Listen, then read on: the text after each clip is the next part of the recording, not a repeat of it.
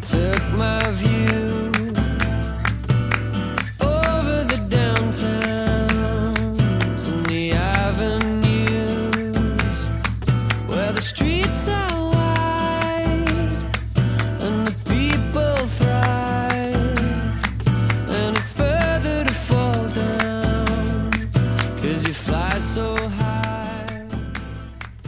una excelente invitada en el día de hoy en el ciclo de Tardes con Luna de Entrevistas. Ella es actriz, una capocómica rosarina excelente y tengo el placer de presentarla, la señora Gachi Roldán. ¿Qué tal, Gachi? Hola, Mayra. Bienvenida. ¿Cómo estás? Muy bien. Bueno, qué bueno tenerte acá. Hi- Hicimos eh, nota en radio, pero en tele nunca te hice. No. No sentada en un estudio. Hicimos en el teatro. Hicimos en el teatro, ya qué lindo. de comedia hicimos. Eso teatro. fue, sí, fue. fue la verdad que sí, muy divertida esa nota. Tenía la foto puesta de portada Sí, sí, sí, fue muy divertido. Bueno, Gachi, la gente te conoce, recién estamos hablando del tema de la popularidad, de que uno dice Gachi Roldán o te ven por la calle, ya te reconocen. Muchos años de trayectoria en el cual ha requerido un esfuerzo, ha requerido un trabajo Ah, de, de preparación y me imagino que siempre te vas perfeccionando, ¿no? Sí, siempre eh, eh, trabajo mucho. Ujú. Tra- la- el perfeccionamiento a esta altura del partido, digamos, porque aunque no lo crean, yo soy una actriz de conservatorio, digamos, yo tengo un título de actriz nacional, que ese es mi título. Este, eh, no hago, soy muy lectora, mm, leo mucho, investigo mucho, pero así no he seguido eh, cursando Claro, ni sí, sí, tomando sí. clases, pero sí trabajo, no, lo- es lo que me faltaría, calculo, tomar clases, porque trabajo mucho todo el tiempo. Claro, por ahí no tenés tiempo específico para dedicar al estudio, pero por ahí si, si vos tenés que ponerte en el detalle de ir a mirar una obra y fijarte, ah, mira, esto puedo tomar, esto otro, sos de, de Sí, fijarte de, en de leer, de leer mucho, de leer mucho, cuando tengo tiempo, pero de- me encanta leer. Mirá vos. Siempre fui muy ¿Y lectora qué te gusta leer? ¿Novelas? Leo mucho eh, novelas, leo teatro. Qué lindo. leo teatro, este, pero porque me gusta a mí leer, este, me distrae. Yo, te yo no soy, no miro mucha televisión, Ajá. miro bastante, poco, casi nada de tele. Entonces, este, para mí mi distracción es sentarme a leer Claro. y escuchar radio. A mí son dos La cosas radio que te gusta. La radio sí, la radio me encanta. Y tiene otra, otra magia distinta, ¿no? Siempre Sí. decimos lo mismo. A mí la tele, la tele actual, la tele de, de- de aire me agota, Ajá. me, me, uh, me aburre. Te- te- o sea, te, te aburre en el sentido de que no te da, igual. no te aporta nada. Nada. Claro. Aporta, yo creo que aporta mucha violencia, aún los programas que pretenden ser entretenidos y, y- y- y simpáticos, a mí me parecen violentos. Y acá en Rosario Gachi, ¿no pensás que hace falta más programas, por ejemplo, de humor? Obvio. Que esto es. Obvio, o que por lo menos hubiera humoristas en, en- en alguna parte, digamos, en, en- en- en el mismo En noticiero. realidad hace, hace falta más programas en Rosario. Hace falta más. Con más Yo creo que van a ir saliendo. Lo que pasa es que es difícil convencer a los sponsors, Claro. ¿no? eso. Porque, qué sé yo, eh, los grandes sponsors rosarinos no pautan en Rosario, que es a la gente a la que le venden. Claro, es verdad, es verdad eso. Pequeño detalle. ¿Entendés? Vos le vendés a los rosarinos. ¿no? Pero, pero la publicidad viene Daddy Brieva a hacerla. Entonces estaría que decir, eh, sería como decirle, este, bueno, eh, entonces yo compro en una cadena de Buenos Aires. Claro, total. si vos buscas a otra persona. Claro, ¿me entendés? Este, me parece que eh, va a haber un tiempo en que los sponsors se, des cuen- se den cuenta de que nosotros también podemos vender y que somos más baratos. Que. Daddy Briga seguro. Y son señor. muy talentosos. Claro. Gachi, bueno, ¿cuándo supiste esa, eh, eh, ese amor por el, por el teatro? ¿Cuándo dijiste, bueno, yo quiero ser actriz? ¿De chiquita actuabas? No, ¿Qué de chiquita cuando me eras moría de la vergüenza. Sí, muy. De chiquita de adolescente. Ah, Muy, muy de no pasar ni siquiera al frente a dar lección por, ¿No por la en en vergüenza. la- En, los actos de la escuela no actuabas no, tampoco? no. Mirá vos. Siempre supe que me gustaba el arte, pero que yo exponerme no podía. No, no, claro, te- no te me daba vergüenza, era muy vergonzosa. No me lo cree la ¿En serio? ¿Gachi? ¿Te juro. vergonzosa? Pero como te decía, siempre me gustó leer y siempre me gustó la literatura y entré al teatro por la literatura. Cuando vi que se abría la Escuela Nacional de Teatro, entré por, por el hecho de leer, de, de todo lo que se podía leer, y historia del arte y todas esas cuestiones. Y cuando empecé actuación con una maestra como Chiqui González, actual ministra de Innovación y Cultura, me voló la cabeza la posibilidad de actuar. ¿Y Sentí- tuviste, tuviste ese miedo, esa, esos nervios? Porque ya que, o sea, no, no, no era algo que, a vos, lo, que vos lo tuvieras presente, eras vergonzosa. Cuando tuviste que subir al escenario, cuando tuviste que hacer tu primer papel. Justamente, no, sentí que lo que quería era mostrar eso, que en definitiva no era yo. Claro. Entonces te, ponías detrás de un papel y no era Gachi. Entonces pude, pude atrás de- de- del personaje eh, estar en el escenario y me, me encantó, me encantó. A mí me parece que encontré que ese era mi lugar y empecé grande, no, no, ya no era una adolescente, era grande. Yo ya, Claro. ya tenía a mi hija cuando empecé a estudiar teatro. Mirá O vos. sea que mm, ya era grande. Y sin embargo, bueno, e- eso era lo que... Me di cuenta de eso, que el teatro era lo que lo Y Después te mío. empezaste a apasionar con eso, ¿no? Me imagino que... Absolutamente. Para mí el teatro es mi trabajo, pero es, es- es mi pasión. Es mi pasión. Para mí el momento que estoy en el escenario es lo que disfruto. Y de hacer reír a la gente, ¿te gusta? Porque te dedicaste a la, a la- a la comicidad por algo en particular.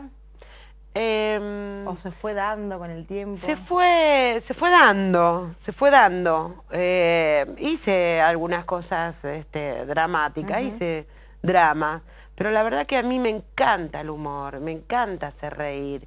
También considero que no es fácil hacer reír, No es fácil. que no, no, no es una eh, cuestión. Yo tengo, yo estoy entrenada en, en el humor, pero sé que no, no es cualquiera el que se para hacer reír, digamos, que es más fácil trabajo. hacer llorar que hacer reír. Yo creo que sí, que la emoción puede estar así al alcance de la mano, pero la risa es un borde.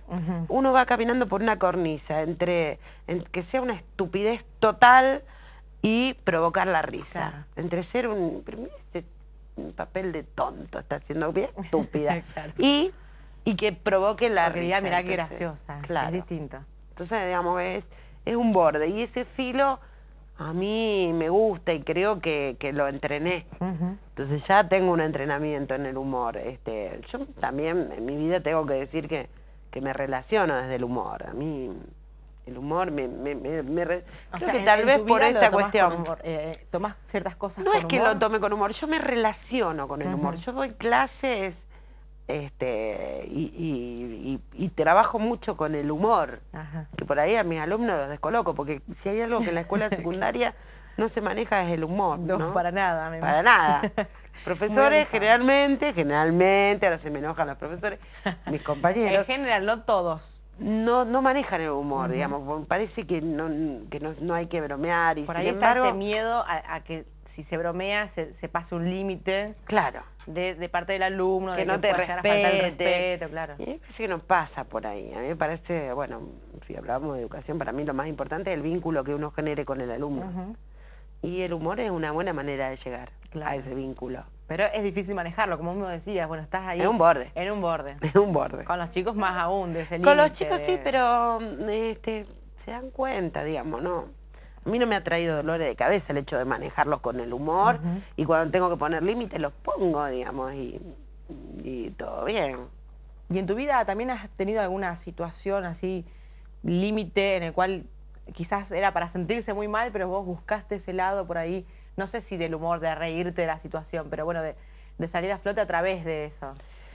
Sí, eh, por lo- no sé si a través del humor, pero sí de bajar un cambio, de que me doy cuenta que algo me está molestando y me está haciendo mal, digo, pum, bajo un cambio, listo, ya está. O cosa. ahora no lo voy a pensar, eso sí lo hago. Ahora no lo voy a pensar. Pues en ese, en momento es peor. si Sí, pensás. sí. Mejor para Cuando te enredas en situación Sí, sí, y, sí. sí, y te estás mal, este, creo que, bueno, mi Relato Salvaje es una película que me encantó, ¿Te creo gustó? que habla de eso, de bajar un De cómo cambio. nosotros eh, con la cabeza trabajábamos, trabajábamos y... Bajar un Termina mal, termina mal. Termina mal. Termina mal. aparte físicamente te hace mal. Claro. Entonces digo, baja un cambio. Entonces hago eso, sí, bajo un cambio y después lo pienso. Lo pensás más tarde, estás Sí, tranquila, tarde. ya está. Sí. De, de esa manera, está bueno Sí, sí, alguna gente piensa que no me importa nada porque manejo. No es que no te importe, sino que bueno, ahí, ahí lo está- ahora lo están sabiendo, no, No, es que no, le importa, me importe, es que lo man- eh, trato de pensarlo en, De manejarlo de otra más manera. en frío, no, no volverme loca porque si no me hace mal. Claro, y aparte a otras personas por ahí, porque uno, viste, Yo que soy, Cuando yo creo que no hay que vivir amargado. Y esto no es una frivolidad, no es que lo digo desde, ah, que no te importe nada, no, para nada. Que hay que mirarlo desde otro lado a las cosas, porque no se puede vivir eh, amargado. Claro. Hace daño, y sí, es verdad. hace daño. ¿Y cómo hago? Y mirarlo desde otro lado, Claro. fíjate, no sé, pensarlo. profundo y después, bueno. Sí, digamos. No, no sé, pero me parece que estamos todos como en una situación de, de- de- de enloquecerse por algunas cuestiones.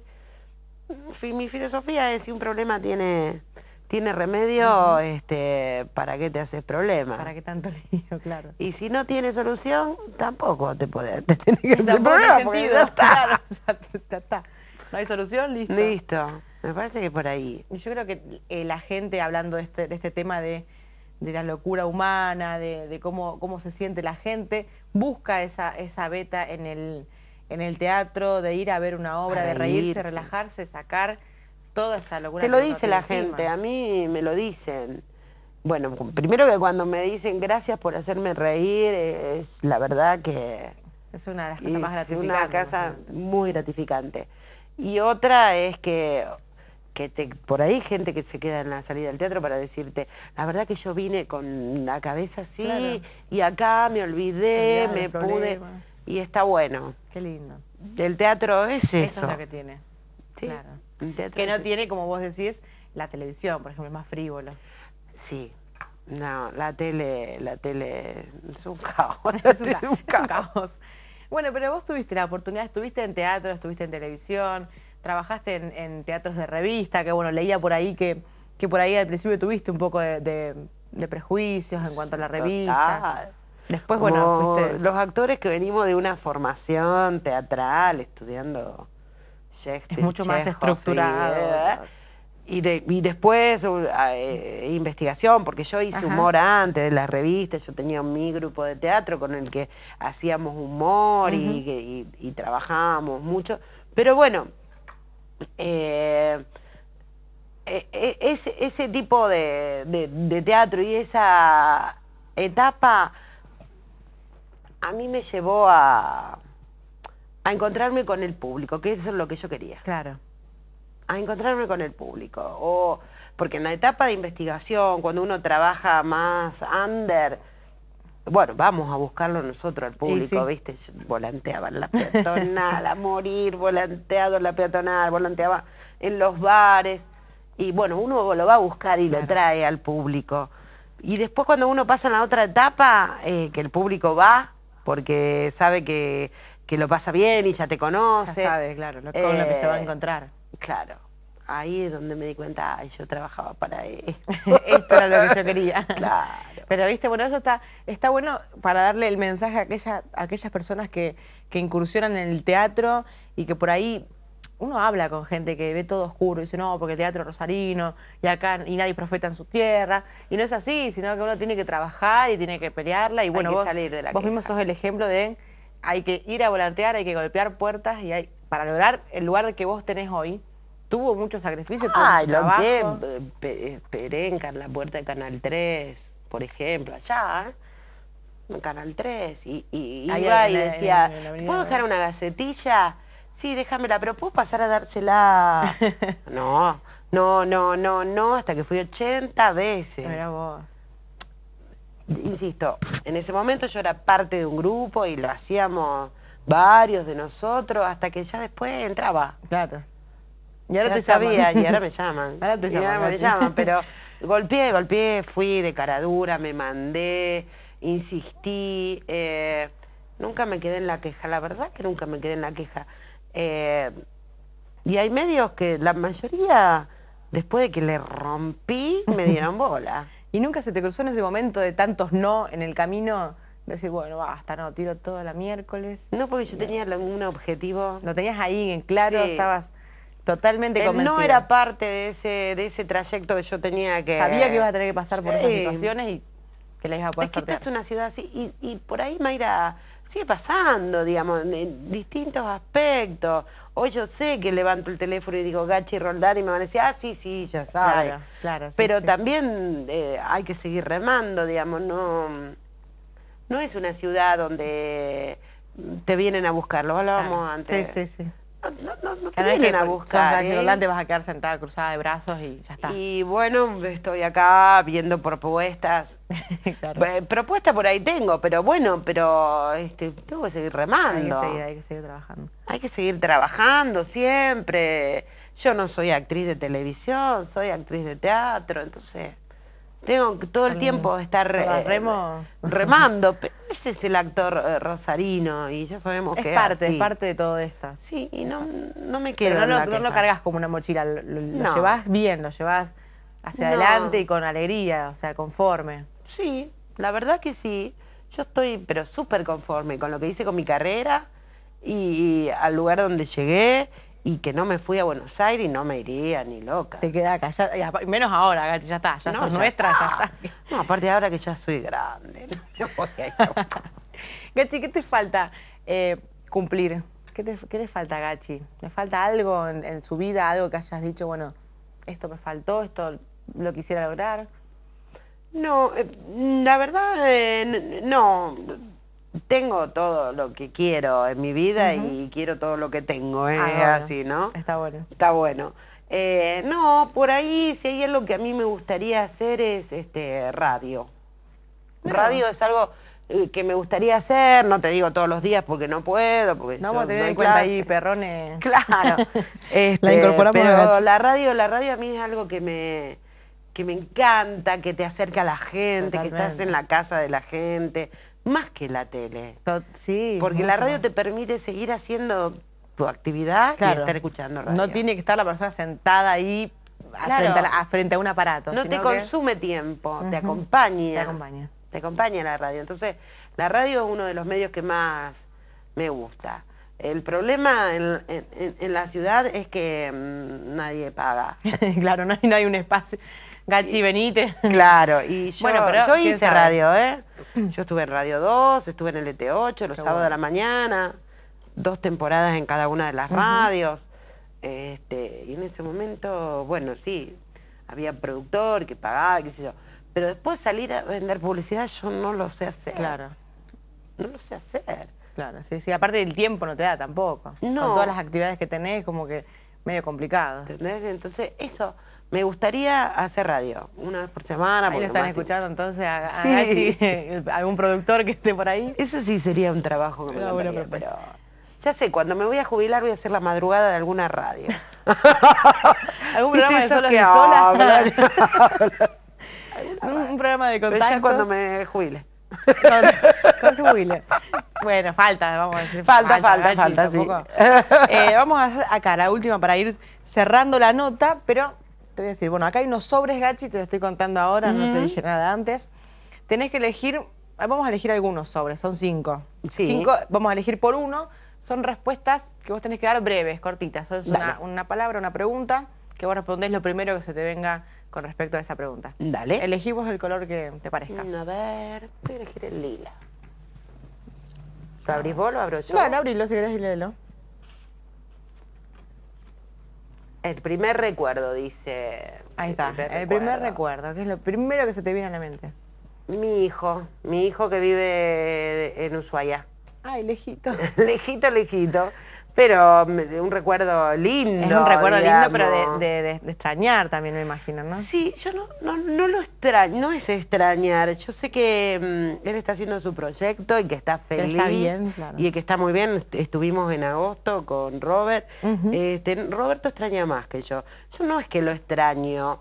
Eh, me acuerdo de él en un momento del día, me acuerdo de Manuel, o, o le mando un mensajito, Claro. o un WhatsApp que estás haciendo, o, o estás laburando, pero la verdad que no es este melancolía, lo, no es un recuerdo de, de tristeza, que no está, que lo extraño.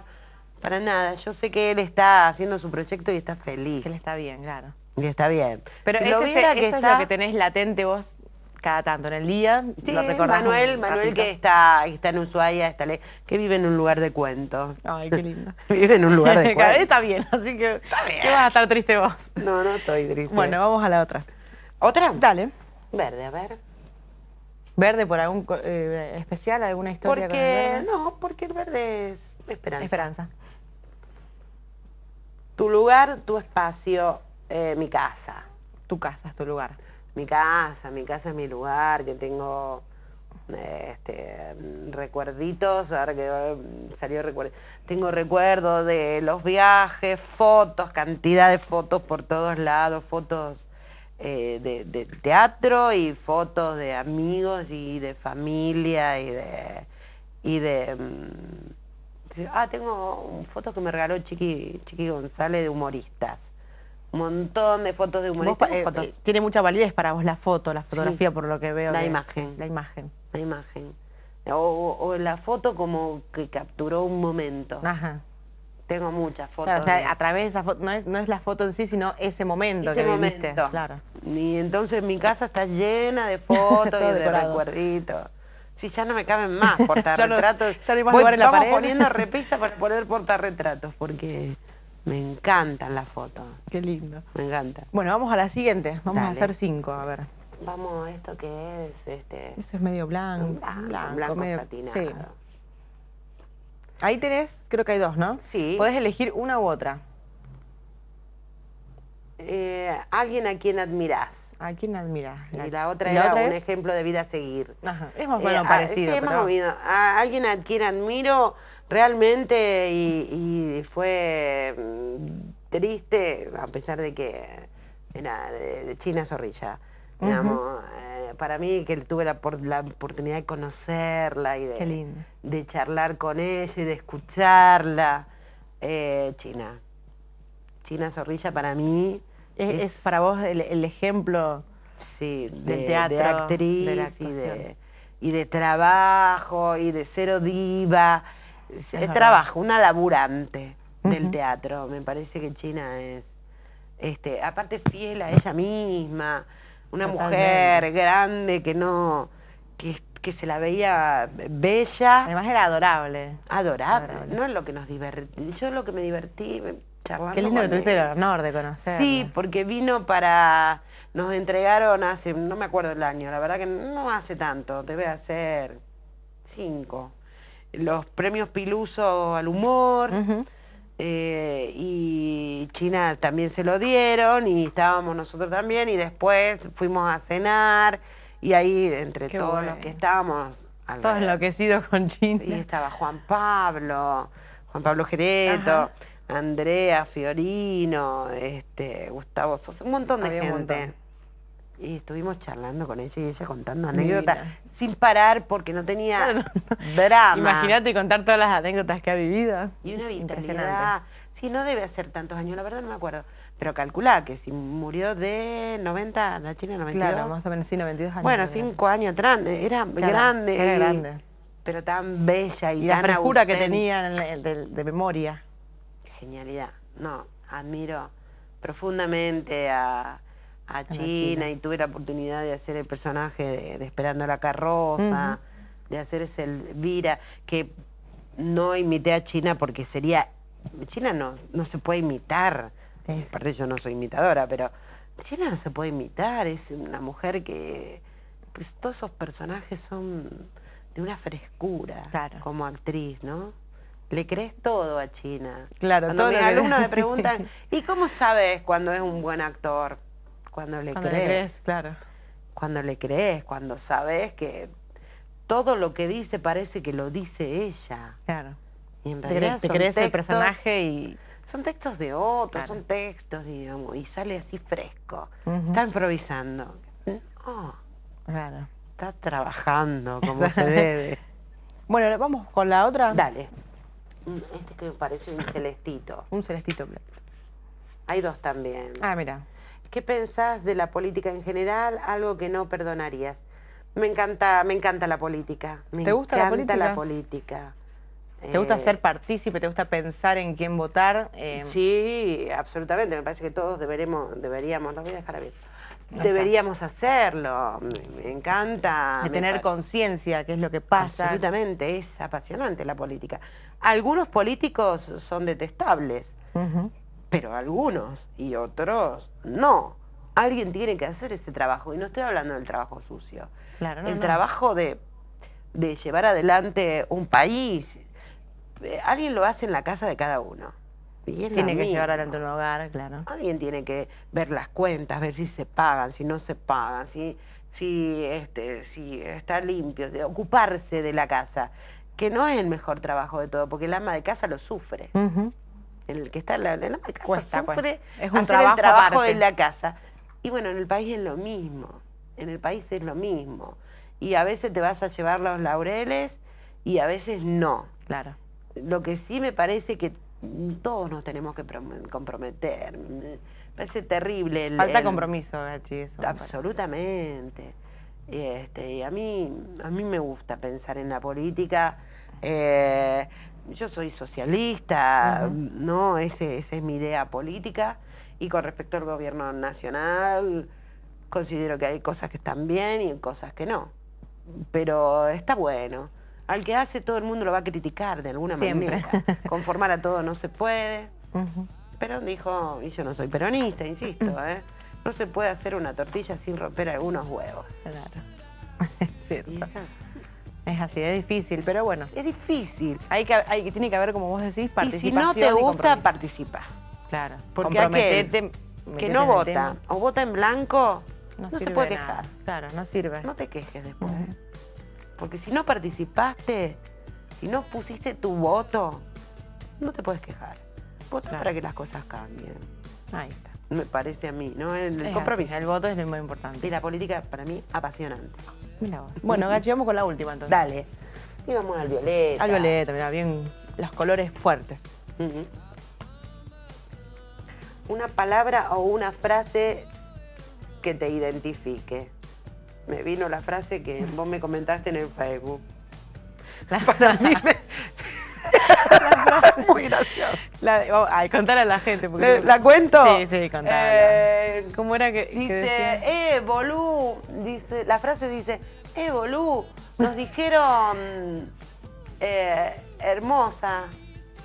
No, nos dijeron, eh, morsa. ¿Cómo me reí con esa Esa frase? que- frase buenísima. No sé si me identifica, porque yo me siento hermosa siempre. Y bueno, no, entonces está bien. No es algo que a mí me, me esté... Pero está bueno, pero tomás con, lo tomás con humor, Pero justamente. sí, ¿eh? eh, Uno morsa. se tiene que reír. Re mal, también, ¿cómo le van a gritar? Qué eh, malo, pero es bueno, la gente es cruel. Y algunos hombres por ahí son cruel, viste que Son te- malos. son ma- Odio cuando le, te dicen, eh, porque la bruja, porque la bruja. Claro, no. Yo me acuerdo que una vez un amigo de mi marido, que no me conocía, va, capaz que me conocería, pero le dije, para, ¿vos sabés lo que piensa ella de vos? Si vos le decías así, así de vos. ¿Sabés lo que piensa ella de vos si vos le decís la bruja? Mm, Ella, ¿qué dirá de vos? claro. Que lo descoloqué. Lo ¿eh? dejaste ahí como. Así que los señores que Ah, dicen tam- la jabru, anda a saber qué dicen si no dicen este bolú. Y no se enteran encima de eso. Claro. ¿Viste? Muy bueno. Bueno, Gachi, algo más como para, como para ir cerrando a la gente, ¿qué le decís en general? A la gente que te siguió, a los productores que han apostado a vos, a, bueno, a tu familia que te ha apoyado tanto todos estos años. Eh, mi familia incondicional, mi marido es el, el compañero de la vida y, y en el teatro también y que, que siempre está apoyando todo lo que yo haga. Y a, bueno, no son los productores, es el productor, productor. Manuel El Manuel. que es mi amigo, mi amigo del alma y mi, y mi productor y, y- y compañero también. Y el público agradecer, porque digamos, yo sé que, que el público rosarino me apoya, me quiere y soy parte de ellos. Eh, digamos, cuando la gente por la calle me, me saluda, me da un beso, me dice, eh, Bachi, ¿te suena raro que una persona que vos no conoces te llame por tu nombre? Claro. Recién te pasó, decíamos. Sí, me pasa. Y, me- me- viste, y es una cosa como entre rara y linda. me- a mí me gusta que los rosarinos piensen que yo soy de ellos porque lo soy. Claro, sos, sos nuestra, ¿eh? sos nuestra, Gachi. Bueno, te agradezco por haber estado acá en Tardes con Luna. Tenemos un montón de cosas más para hablar, pero viste que no se puede. Eh, Dale, escri- escribimos un libro. Ay, Un libro, Gachi, tenés que Y escribir. el- capaz, ¿eh? cuando me jubile. Uy, tantas cosas. Tenés que hacer la lista. Gracias, Gachi. No, a vos, Mayna, gracias. Gracias y éxitos como siempre. Para vos también. Esto fue todo por hoy. Esperamos que lo hayan disfrutado al igual que nosotros. Es un placer siempre compartir estas notas con ustedes. Les mando un beso muy grande y nos volvemos a encontrar de nuevo en la próxima edición de Tardes con Luna Entrevistas.